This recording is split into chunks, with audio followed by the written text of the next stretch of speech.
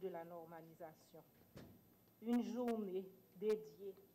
à toutes celles et à tous ceux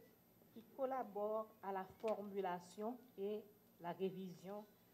des normes devant faciliter la vie et favoriser les progrès socio-économiques. À l'occasion de la célébration de cette journée, le message des trois organisations principales de normalisation, je veux parler de l'Organisation internationale de normalisation qu'on connaît sous le nom ISO, la Commission électrotechnique internationale, la CEI, et l'Union internationale des télécommunications, l'UIT. Le message, dis-je, fait ressortir l'importance des normes en tant qu'instrument puissant capable de susciter des changements positifs. En effet, les normes constituent, continuent de garantir des changements positifs en permettant de supprimer les obstacles à la communication et à la coopération et les travaux de ces organisations restent essentiels pour élaborer des normes destinées à faire part de connaissances à tous les pays du monde et fournir ainsi des éléments de base propres à favoriser la prospérité mondiale. Dans notre pays, nous avons franchi une étape décisive dans le domaine de la normalisation et des activités connexes en mettant en place le Bureau haïtien de normalisation et des comités techniques chargés de participer à l'élaboration des normes dans les secteurs d'activité prioritaires. Nous aurons, au cours de la cérémonie du jour, l'opportunité d'échanger des informations et de faire le point de l'avancement des travaux de normalisation en Haïti pour une plus grande implication des parties prenantes. Je voudrais, au nom du Bureau haïtien de normalisation et en mon nom propre, remercier tous ici présents qui avez répondu à notre invitation de venir célébrer la journée mondiale de la normalisation. Je voudrais aussi profiter de l'occasion pour saluer l'apport de nos partenaires, notamment celui de l'Union européenne et de l'Organisation des Nations Unies pour le développement industriel en soutien à nos travaux sur la normalisation et la qualité. Je vous remercie. Sous le dixième Fonds européen de développement, donc euh, le cadre qui définit notre coopération, donc la coopération entre l'Union européenne et Haïti pour la période qui s'achève, donc qui était la période 2008-2013 du FED, du Fonds européen de développement, nous avons, Union européenne, alloué 4,5 millions d'euros qui nous ont permis d'appuyer le ministère du Commerce et de l'Industrie afin qu'il puisse pleinement jouer son rôle visant à intégrer accroître l'intégration du pays dans les échanges régionaux et internationaux et contribuer ainsi à une croissance économique durable pour Haïti. Alors, ce n'est évidemment pas ici, euh, dans les lieux du ministère, que je vais devoir rappeler le rôle de tout premier plan que le ministère, sous la houlette, sous la houlette du ministre, joue pour définir et mettre en œuvre des politiques et stratégies commerciales, mais également pour renforcer le dialogue entre le secteur public et le secteur privé et pour la mise en place d'une politique nationale de qualité. Le programme d'appui au ministère du Commerce et de l'Industrie de l'Union européenne comporte cinq volets, dont celui qui nous réunit aujourd'hui, qui est celui de l'appui à la mise en place du Bureau haïtien de normalisation. Ainsi, de 2007 à 2009, l'Union européenne a financé le programme sur la compétitivité et le renforcement des capacités d'exportation pour l'intégration régionale d'Haïti.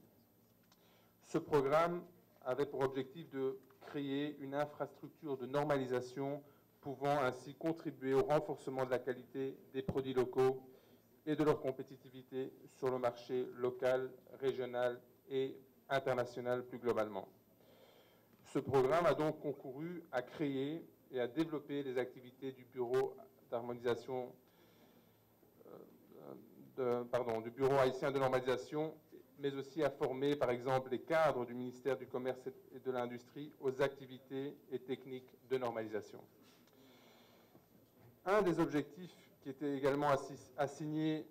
par le gouvernement au Bureau haïtien de normalisation est d'être opérationnel et être capable d'assister de façon efficace le gouvernement, le secteur privé ainsi que la société civile dans les domaines qui nous occupent. À travers notre programme d'appui au ministère du Commerce et de l'Industrie et de soutien aux infrastructures de qualité et le renforcement du Bureau haïtien de normalisation, nous avons spécifiquement alloué un million d'euros qui a donc visé à appuyer le Bureau. Donc, comme faut-il le rappeler, qui est donc une priorité essentielle pour le ministère. Cela a été dit également, et j'en profite pour, euh, pour les remercier et rendre hommage au travail qui est réalisé donc, euh, à l'Organisation euh, des Nations Unies pour le développement industriel, qui est notre partenaire pour ce projet, et qui travaille donc en étroite collaboration et en appui du Bureau haïtien de normalisation. Alors aujourd'hui, je ne vais pas être beaucoup plus long, l'occasion nous est donnée d'établir aussi une, forme de bilan public du parcours que nous avons réalisé ensemble sur la voie du renforcement industriel d'Haïti. Et c'est également une occasion de nous pencher ensemble plus largement sur la contribution positive qu'apportent les normes internationales dans le domaine de la normalisation et de la certification. C'est donc avec beaucoup de plaisir, d'enthousiasme et d'intérêt que je suis aujourd'hui parmi vous au nom de l'Union européenne pour participer à cet état des lieux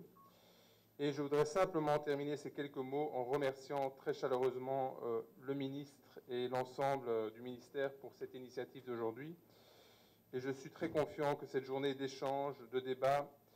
aboutiront à des réflexions constructives, approfondies et utiles pour regarder ensemble la meilleure manière de poursuivre ce chemin vers la qualité et la compétitivité de l'industrie haïtienne pour un développement durable du pays. Je veux, au nom de l'ambassadeur que vous soyez assuré de la solidarité européenne sur ce chemin. Je vous remercie. Les normes internationales garantissent des changements positifs. C'est le thème retenu cette année dans le cadre de la célébration de la journée mondiale de la normalisation. Pour Haïti, ce thème appelle à une réflexion en profondeur sur la situation générale et les enjeux de la normalisation et de l'infrastructure qualité. En effet, une infrastructure qualité offre à tout pays la possibilité d'améliorer le niveau de bien-être de sa population, d'attirer des investissements de qualité, de créer des emplois bien rémunérés et de mieux se positionner dans le circuit des échanges mondiaux. Qu'il s'agisse des spécifications des produits et des services, du management de la qualité, de la gestion de l'environnement, de la qualité de l'accès aux biens et services à l'ensemble de la population, de l'atténuation des effets des changements climatiques, de l'adaptation des matériaux et techniques de construction, les normes énoncent des bonnes pratiques dont les effets positifs sont aujourd'hui universellement reconnus.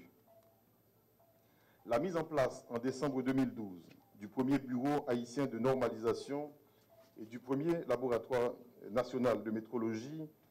marque un tournant décisif dans la mise en place du système national de la qualité. Ce bureau a mis en opération